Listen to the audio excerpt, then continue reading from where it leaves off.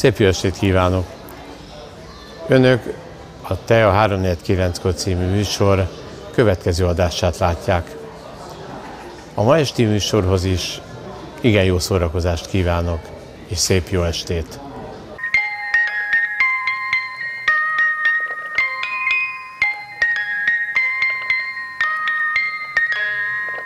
Jó estét kívánok, kedves nézőim! Ma esti vendégem rendhagyó vendég, Szebeni András, fotográfus. Fogadják szeretettel. Szervusz András, hogy vagy? Szervusz Péter. Én köszönöm szépen, nagyon jó. Nem haragszol, hogy így konferáltalak föl, hiszen én nem tudok különbséget tenni, hogy fotográfus vagy fotóművész. Én azt hiszem, hogy... Nem, nagyon jó. Ha a nézők nem tudnák, nem beszéltük meg, és megmondom őszintén, jól esett, mert ezek szerint tájékozott vagy abban, hogy mi jobban szeretjük, ha azt mondják, hogy fotográfus. Na, örülök, hogy a kedv... Először is, mielőtt elkezdenénk ezt a kis műsort, engedd meg nekem, hogy a napokban lesz a születésnapod. Köszönöm 30-án. Engedd meg nekem, hogy nagyon-nagyon sok boldogságot, erőt, egészséget, és nagyon sok sikert is a 200. könyvednél majd újra kocinthasson. Köszönöm szépen.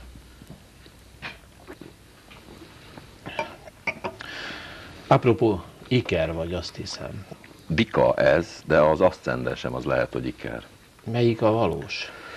Hát nézd, azt mondják, hogy hát az életem értelme, Zsuzsa mindig azt mondja, hogy biztos, hogy van bennem Iker, de lehet, hogy van bennem még Kos is. Mert ugye az Iker sokat beszél, kommunikatív, és a többi, és a többi feltehetőleg azt mondja, azért csinálom én ezt a szakmát, ahol ugye kell az emberekkel társalogni. A Bika az megfontoltabb, földön járóbb viszont akkor nem lehetnék állítólag artistikus, hogyha nem lenne bennem a kos a tűzjegy, de én ebben nem vagyok igazán otthon, ezeket tudom. Na csak azért gondoltam volt, mert az Iker az igen kettős. Rád az azért jellemző ez a kettősség, én azt hiszem. Mire gondolsz? Hát ő tudsz palérozott modorú ember is lenni, és tudsz viszont kőkemény vagány is lenni. Ez így van, de hát én azt hiszem, hogy ő, az én foglalkozásom, hivatásom, szakmám egy olyan ö, műfaj, ahol el kell néha játszani bizonyos dolgokat azért, hogy meg tud csinálni olyan képeket és olyan szituációkat, amik aztán majd hordoznak valamilyen jelentést. 30 éve vagy a pályán. Ezt hogy élted ezt meg, ezt a 30 évet? Fotográfus akartál lenni egyébként valójában? Nem, kérlek szépen, én akartam lenni népművelő, akartam lenni filmes, mert ugye 64-ben érettségiztem, és akkor ugye mindenki filmes akart lenni aztán akartam lenni tanár, akartam lenni szakács, és a végén úgy így lettem fotográfus. De hát van egy eredeti tisztességes polgári foglalkozásom is, mert művészettörténet filozófiát végeztem, úgyhogy még tanítottam is másfél évet. Hm, milyen érdekes az élet. A te pályádra tulajdonképpen sok minden jellemző. Minden evő, vagy mindent ö, szívesen fényképezel?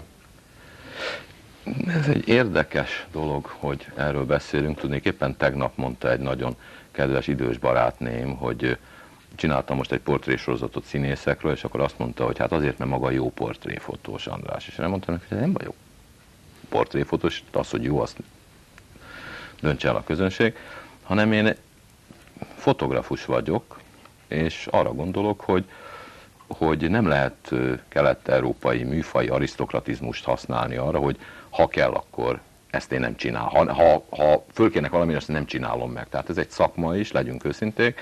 Nekem meg kell tudni csinálni a, a riportást is, voltam haditudósító is, meg kell tudni csinálni a portrét is, meg kell tudni csinálni az aktot is. Apropó akt. Az egyik könyved ö, az igencsak sok különböző vízhangot váltott ki. Ez a női vonal, ugye, amire gondolsz? Igen. Arra gondolok. Pozitív és negatív értelemben is. Jó az, amikor vitatkoznak egy könyv tartalmáról? Én azt hiszem, hogy ha, ö, ahogy szokták mondani, amikor fölvetődik egy probléma, ma például a bizottságokban értekezleten, és hogy szeretnek ma az országban létrehozni bizottságokat, és különböző albizottságokat, értekezleteket, és a többi, és amikor azt mondja ez egy visszatérő szóforduló az, hogy látjátok urak, ha már ennyi ideje beszélünk róla, akkor ez biztos érdekes. Na most tehát én azt hiszem, hogyha egy könyv, vagy egy színház, vagy egyáltalán egy, egy produkció ö, indulatokat vált ki, akkor annál nagyobb öröme nem lehet a szerzőnek, mint az, hogy, hogy, hogy foglalkoznak a munkájával, és kiválthat pozitív és kiválthat negatív indulatokat is. Már csak azért is ö, érdekes, mert sok könyved jelent meg, tíz eddig, és én annélkül, hogy, hogy én elfogult lennék veled, én váltig állíthatom, hogy egyik szebb, mint a másik. Apropó, visszatérve egy pillanatra erre a női vonalakra. Mit jelentenek a nők az életedben? Mert sok mindent beszélnek rólad. Hány házasság? Az első volt egy csodálatos Igen. asszony. Igen.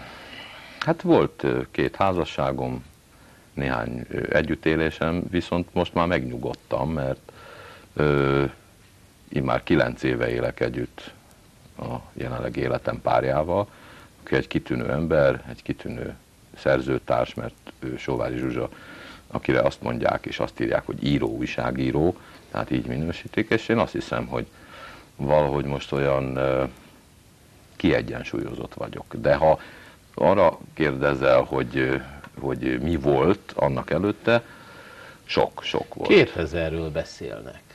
Hát nézd, ezt így pontosan nem tudom bekalibrálni. Egyszer egy asztaltársaságban Anno Dacumá volt egy olyan, hogy ö, egy hét múlva mindenkinek össze kellett írni a bizonyos identifikálható hölgyeket, és ott 1008 és 1009 között, de most ha megölsz, nem tudom pontosan a számot, hát uszkve. Hála jó Istennek. Ö, Mondd András, van kedvenc könyved a, ti, a tíz között? Ami úgy igazán a- szívedhez, tudom mindegyik a szívedhez nőtt, de úgy igazán kedvenc közötte? Ez egy olyan, olyan, olyan nehéz erre válaszolni tudni. Mindig a legutolsó a legkedvesebb, tehát most az arctérképek, de ha, ha arra gondolok, hogy a vajszínű árnyalat, amit Eszterházi Péterrel készítettem, és 93-ban jelent meg, az aztán az egyik legmozgalmasabb, a legizgalmasabb könyv, mert ugye 88-tól 93-ig öleli át azt az időszakot, amikor Kelet-Európában és Magyarországon megtörtént az, ami megtörtént, és amit rendszerváltozásnak hívunk. Apropó arctérképek, ez az utolsó, ami ö, bennem igen mély nyomokat hagy, és én ezt, ha nincsen neki fogásod, néhány képet szeretnék megosztani a kedves nézőkkel, és azok mindegyik nagyon-nagyon tetszett, csak van néhány, amelyik közös barát, közös ismerős, és ezek jobban közel állnak hozzám. Ha nincs erre neki fogásod, miközben beszélgetünk, néhány képet bevágnánk ezek közül. Úgy, hogy közben beszélgetünk is. Lássuk.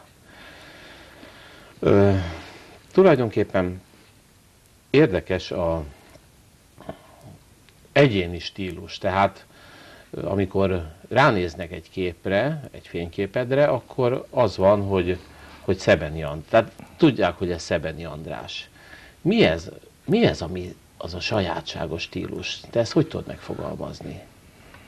Hát Ez az embernek a saját képéről beszélni a legnehezebb, de a szándékot azt meg tudom fogalmazni, ami van, vagy volt bennem, amikor ezeket a képeket készítettem, és amikor most csinálok ilyen jellegű portrékat, akkor is ez a szándékom, hogy a kép ö, természetesen arról kell, hogy szóljon, akit a kép ábrázol.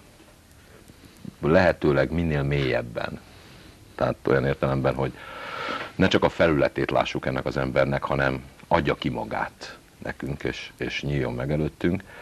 De azért biztos, hogy ebben benne van a szerző kézjegye is, tehát, tehát ez egy ilyen kettőség, ha már beszéltünk erről a kettőségről és az ikerről, hogy biztos, hogy benne van az is, hogy ebben benne van egy picit, hogy én hogyan látom őt. Tehát ö, éppen a napokban mondta nekem egy nagyon kedves grafikus képzőművész ismerősöm, hogy ezek vélemény fotográfiák. Tehát ebben benne van bizonyos értelemben az én véleményem is. És ha ez a szándék, ez, ez átjött, és ha ő ezt mondta, és te most rákérdezel, akkor már valamit sikerült megoldani. Tudni, megmondom, miért tettem fel neked ezt a kérdést. Mert vélem, véleményem szerint a, a fotográfia, mint olyan, talán egy kicsit hátrányosabb helyzetben is lehet az egyéb képzőművészeti ágakkal, hiszen egy festőművész az rendszeresen ugye fest, tárlatai vannak általában. Valahol, mintha én egy kicsit elnyomva érezném ezt a művészetet, hiszen ugyanúgy megérdemelné az a fotográfus a rendszeres tárlatokat, hogy, hogy, hogy napra készen lássa a nézők, hogy... Hogy mit csinál. Igen. Nézd, erre egy zenei hasonlattal éve azt szokták mondani, hogy a fotográfia a vizuális művészetek között olyan, mint a zenében a jazz. Ami szintén egy ugye egy ilyen session műfaj, tehát vannak klubok, ahova eljárnak az emberek, és meghallgatják azokat a szólistákat, legyenek azok fúvósok, vagy ö, billentyűsök, vagy dobosok, akiket kedvelnek, és néha fölháborodnak a jazzzenészek, hogy ők nincsenek a megfelelő helyükön. A fotográfusok is nagyon sokszor fölháborodnak, hogy nincsenek a megfelelő helyükön. Én nem szeretem azt, hogyha tömegesen fölháborodnak egy szakmának a képviselői, hogy ők nincsenek a megfelelő helyükön, mert arról biztos, hogy ők is tehetnek. András, tanítasz? Vannak most már nem, most már nem tanítok, elég sokáig tanítottam, most már egy éve nem tanítok. Van e- két tanítványom. Mert?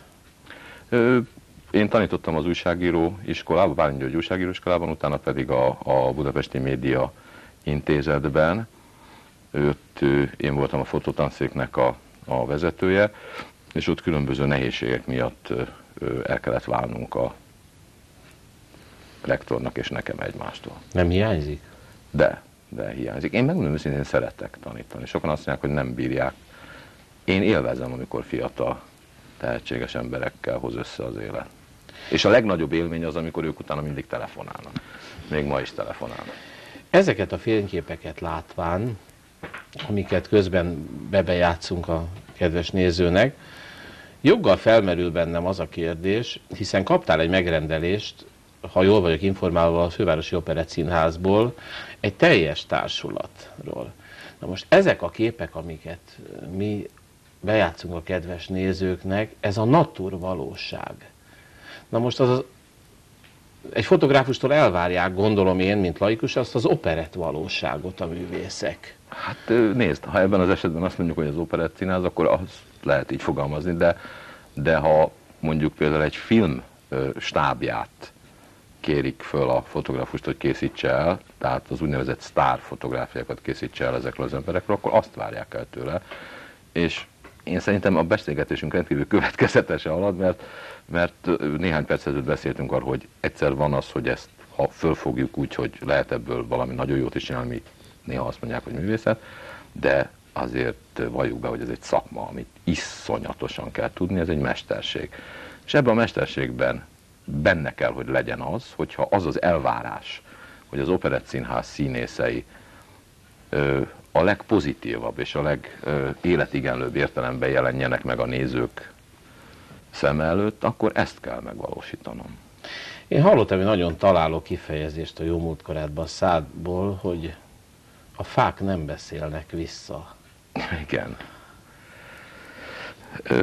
Ez, ez, ez igen, ezt, ezt, ezt arra mondtam neked, hogy, hogy nagyon sokszor beszélgettem már arról kollégáiddal is, meg baráti körben, hogy, hogy én nagyon sokat fotografálok embereket, szinte majdnem mindig embereket fotografálok. Ha riportot csinálok, ha portrét, akkor is. És erre, mikor kollégák közt erről szó van, és láttam néhány más anyagot is, ami természetfotós, borzasztóan tisztelem a természetfotósokat és azért vannak ilyen, ilyen, ilyen viták is köztünk, akkor én mindig azt szoktam mondani, hogy gyerekek, hát könnyű, hát mondom, a fa vagy a, a pesgős pohár nem beszél vissza. Viszont ha veled kell csinálnom egy portrét, hát azért az egy más dolog. Szóval. Szegényeskedjél, hát ez, Igen. Én tisztában vagyok a saját pónevemmel, úgyhogy tökéletesen. Viszont vannak-e terveid elkövetkezendő időre? Ö, vannak, de van egy, egy ö, ilyen nagyon furcsa szokásom, hogy én soha nem szoktam elmondani előre a terveimet, tehát a faggatás ilyen szempontból teljesen felesleges. Akkor föl is adok vele, viszont engem változatlanul motosz, benne változatlanul motoszkál az, hogy milyen kiválasztás alapján válogattad például ki az utolsókat. Tehát ezek barátaid, ismerős. Az utolsó kötet Az utolsó kötet Egyetlen szempont működött, hogy a saját maguk műfajuk, műfajában maximális minőséget teljesítsenek, és megőrzendőek legyenek az utókor számára. Tehát művészek, csak alkotók, kreatív alkotók. emberek. Sokat jelent számodra a barátság? Nagyon, nagyon sokat. Fontos? Ö, mindenek felett ez a két dolog a legfontosabb a számomra, a szerelem és a barátság. Azt hiszem, hogy szebb motto, szebb zárszó nem is hangozhatott volna a szádból el. Engedd meg, hogy megköszönjem a beszélgetést. Én köszönöm, és nagyon sok sikert kívánjak neked.